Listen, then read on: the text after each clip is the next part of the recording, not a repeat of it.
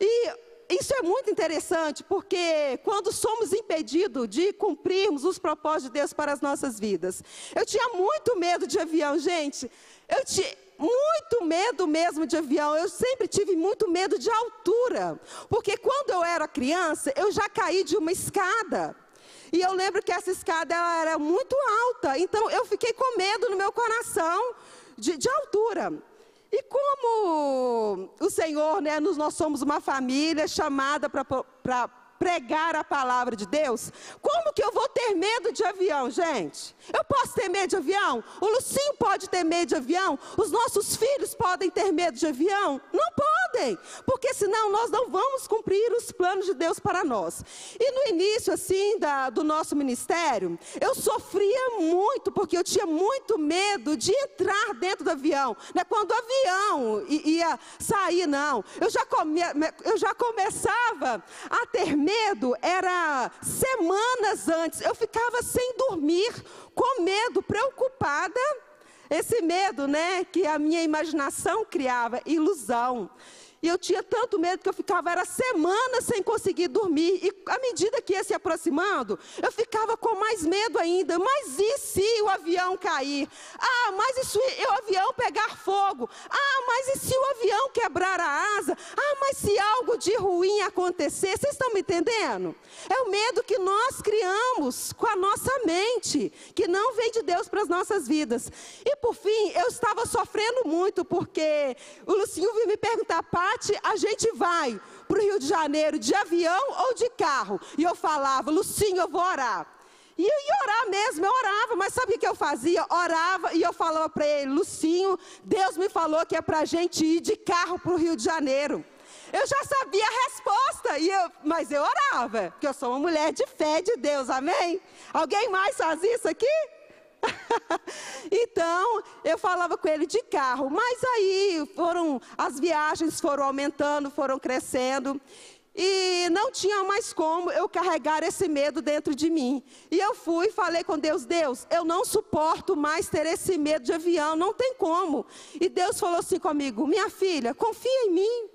Eu vou estar com você, pode ficar tranquila. Eu que tenho o propósito para vocês cumprirem o meu chamado. Sou eu que vou guardar, sou eu que vou proteger. De repente você está aqui, você tem um medo. E esse medo está paralisando você alguma área da sua vida que você está parado há muito tempo, e Deus já te deu a palavra: vai que eu sou com você. Não temas, eu sou contigo. Sabe por que, que você veio aqui hoje? Para ter fé, encher de fé o seu coração e começar a agir nele, amém?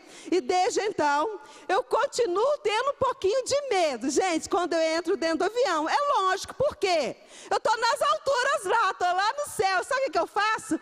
Eu falo para Deus assim: Deus, em tuas mãos eu entrego o meu espírito, a minha alma e o meu corpo, Senhor, porque eu sou tua, me protege, eu sou dele. Não adianta eu ficar com medo, o meu medo não vai me guardar de nada, mas é ele quem vai me guardar de todos os males, amém?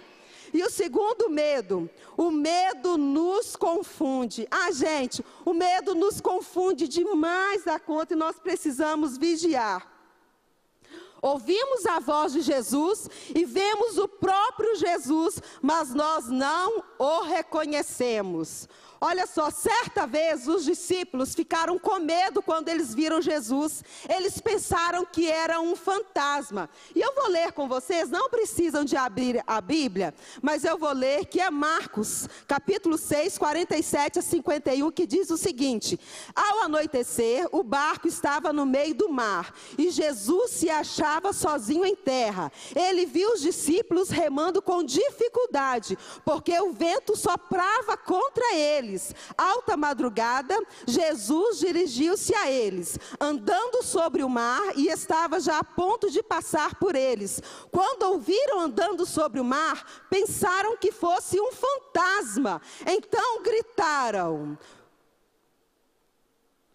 pois todos o tinham visto e ficavam aterrorizados. Mas Jesus imediatamente lhes disse: Coragem, sou eu, não tenham medo. Então subiu no barco para junto deles e o vento se acalmou. A gente, quando Jesus entra na vida da gente, a tempestade se acalma. Porque até a tempestade, até o mar obedecem a Ele, Ele tem o um controle de todas as coisas. E o vento se acalmou. É, há mais ou menos, deixa eu ver, quando a Mimi, a, a Mimi e o Davi eram crianças, o meu sonho era tirar carteira de motorista. Gente, como eu sonhava tirar uma carteira de motorista. Como eu achava lindo ver uma mulher dirigindo. E eu falava assim: Deus, Ai, como eu sonho um dia dirigir. E o meu marido, sempre viajando muito, e eu, a eu já tinha Mimi e o Davi, e eu ficava carregando os dois, levando para a escola, carregava a merendeira, carregava as mochilas, fazia compra, aquele cansaço de carregar as coisas, quer carregar menino. E eu ficava assim, comecei a orar, pedindo para Deus me dar a carteira de motorista. E aí eu peguei, o que, que eu fiz? Entrei na autoescola e fui me preparar para poder ter a carteira de motorista. Só que foi o seguinte, eu orava tanto para Deus pedindo a carteira de motorista e Deus me deu.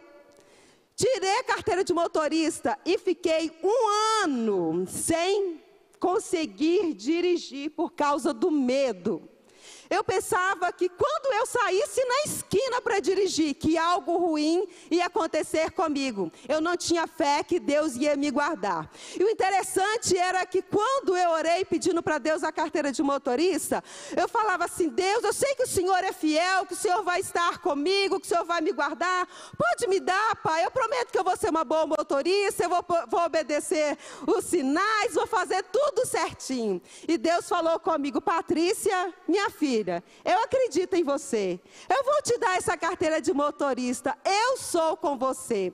Só que é o seguinte: esse medo entrou, entrou, tanto no meu coração e eu fiquei com medo um ano de dirigir. E eu me lembrei daquela música da Ludmila Feber, que diz o seguinte: Eu não vou cantar essa noite, tá bom? Não vou cantar, ok? Não precisa se preocupar. E eu vou falar em forma de poema a música da Ludmilla Feber, essa mulher maravilhosa, incrível, que tanto nos inspira, que diz o seguinte: o nome da música é O Verdadeiro Amor. Quando tenho medo de fracassar, quando tenho medo de não vencer, quando tenho medo de ser, quando tenho medo de não tentar, quando tenho medo de não romper, quando tenho medo de ser. O verdadeiro amor lança fora todo medo. O verdadeiro amor lança fora todo medo. O verdadeiro amor que vem de Deus me ensina a não temer. Gente, é lindo demais. Essa música é maravilhosa. E eu comecei a cantar no meu espírito, adorando a Deus. O verdadeiro amor lança fora todo medo. Uh, o verdadeiro amor lança fora todo medo. Uh, o verdadeiro amor que vem de Deus me ensina a não temer. Gente, eu canto mal demais. Glória a Deus por isso. Mas eu canto. Sabe por quê? Porque eu amo louvar a Deus. É, Deus está comigo, Ele recebe a minha adoração. Mas essa música, gente, no dia que eu fui tirar a carteira de motorista, ela falou tanto ao meu coração, porque eu tinha tanto medo, eu tremia tanto. Mas Deus falou comigo: vai, filha, vai, filha, eu estou com você, eu sou com você, pode dirigir. Vai, filha, vai, filha. Gente, Deus já estava me empurrando para eu começar a dirigir e eu estava lá empacada. Vou, não, Deus, eu estou com medo, você não está vendo, não, Deus. E Deus, vai, filho, eu estou torcendo por você. Ah, meu irmão que está aqui hoje, Deus está torcendo por você. Deus está torcendo por você, moça que está aqui hoje. Você não está sozinha nos seus sonhos. Deus tem projetos lindos, abençoados para a sua vida. Não temas, Ele está com você. Mas deixa eu te pedir um negócio. Tenha coragem, Deus. Tenha coragem no Senhor. Essa semana foi uma semana muito especial aqui no Seminário Teológico Carisma. E nós tivemos uma semana maravilhosa com o querido pastor Gustavo Poubel. Gente, que pastor maravilhoso, cheio da unção, da graça de Deus. E ele nos ensinou com tanta sabedoria. E ele falou algo que eu já sabia. Mas ele falou algo que foi a chave para a minha vida. Vocês já sentiram isso? Algo que vocês ouviram, que vocês já sabiam, mas que aquilo foi uma chave, uma virada na sua vida, algo impactante que transformou o seu coração. E ele ensinou o seguinte para a gente. O lugar de passividade é um lugar muito confortante, mas não é o lugar que nós devemos estar se nós queremos crescer, amadurecer em Deus, se nós queremos ser transformados, moldados, avançarmos. Gente, isso é muito sério, sabe por quê? O nosso lugar de, de, de segurança é a nossa passividade. Ai, oh, vida maravilhosa, eu estou aqui, tudo conforme eu sempre sonhei, acordo 10 horas da manhã. Gente, pessoa preguiçosa, não. Oi, Oito e meia da manhã, né? Misericórdia, dez horas. Acordo todo dia, oito e meia da manhã, que beleza! Ai, daqui um pouquinho eu vou ali fazer minha caminhadinha. Ai, que vida maravilhosa! Mas aí você fica falando com Deus, Deus, eu quero mais para minha vida. Foi o que aconteceu comigo. No início deste ano, quando Deus falou comigo para eu entrar no seminário teológico Carisma. E eu estava num lugar de muito conforto na minha vida. Muito conforto, acordando oito horas da manhã, oito e meia da manhã, e estava tudo maravilhoso. Ah, fazer um cafezinho, que delícia, eu amo café, meu queijinho. Ai, vou fazer minha caminhadinha, ai, que delícia, que maravilha. E ali no meu lugar de conforto, de segurança, tudo maravilhoso, obrigado, Deus. Mas eu comecei a orar, pedindo para Deus: Deus, eu quero mais poder do Senhor na minha vida.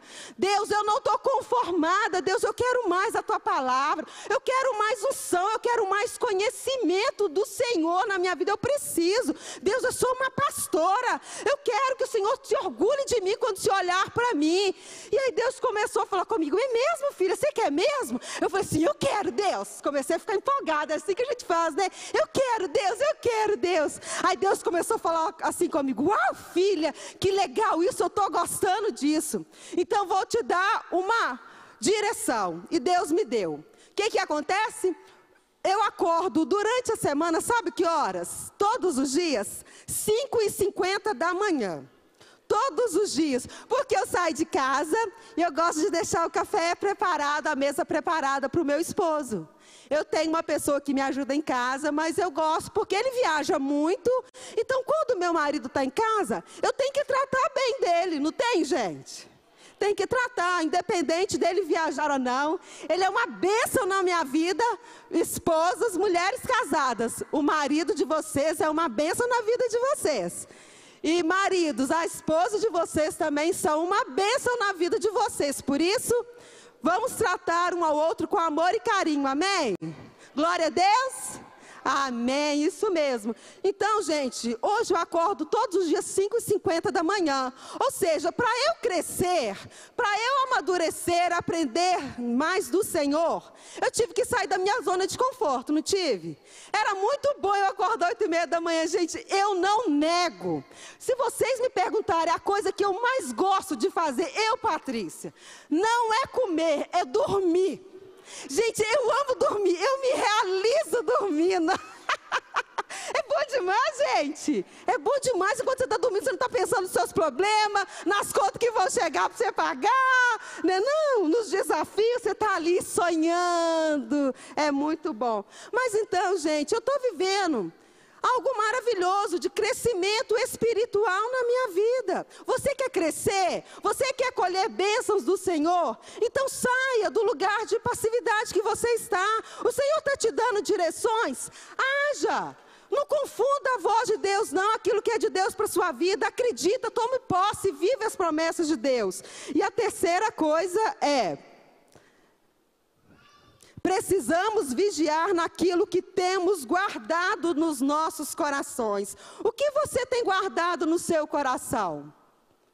e também no que temos ouvido e visto e dado mais atenção. Por quê? O medo vem até nós através das nossas próprias experiências, ou seja, das nossas experiências ruins que tivemos. Então, a gente fica com medo de alguma coisa, por exemplo. Tem uma tomada aqui, eu coloquei o dedo aqui inocente aqui, levei um choque. Então, eu vou ficar com medo de colocar o dedo aqui novamente, não vou? porque foi uma experiência ruim na minha vida. Agora, muitas vezes, as experiências ruins vêm até nós através das outras pessoas, aquilo que nós ouvimos e aquilo que nós vemos. Como, por exemplo, eu, eu Lucinha, a gente atende muitos jovens que têm medo de se casar por causa da experiência ruim dentro de casa, dos pais que não vivem bem, vivem brigando.